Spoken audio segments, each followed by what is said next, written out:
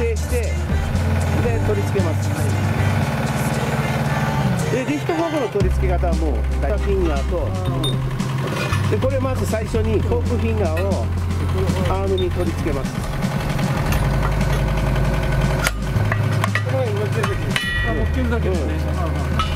でもピンプごと刺しちゃえば。すね、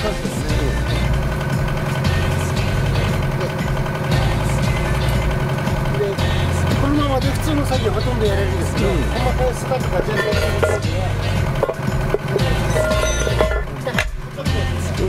で長いピンでカパッと入れてでこれが土砂で細かいやつがそうそう続いてうん砂とかうんその後こうやって挟み込んでやつそうそうそうそうで右か左にうんうんで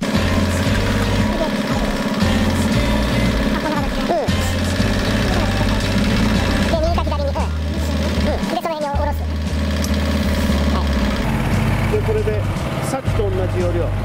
こう押しながらアームで押しながら。足りない時にはバケツで自分で押していっちゃう、うん、でがっぱり入ったとこでババッと使うで軽トラにちょいとうん。いい感じはい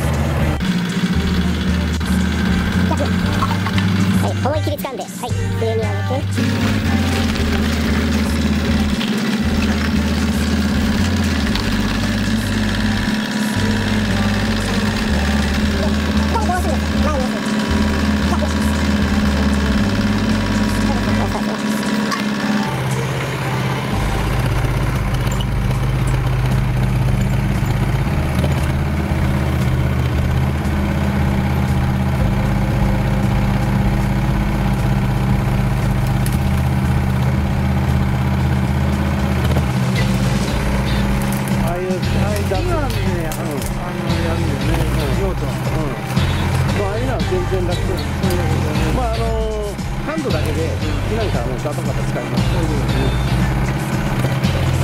あれあれ広がるからね。いやあのまま引っ掛けてこうこんな感じで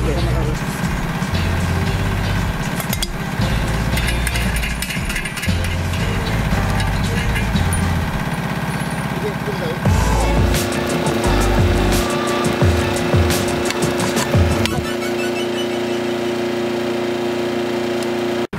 さんこれショベルハンドの購入の動機を教えてください。えー、とこれはですねあの農作業でですね、はい。えーいろんなものを木とかですね、草とか、ええ。あと整地、はい。その辺について活用する、はい。う形で購入いた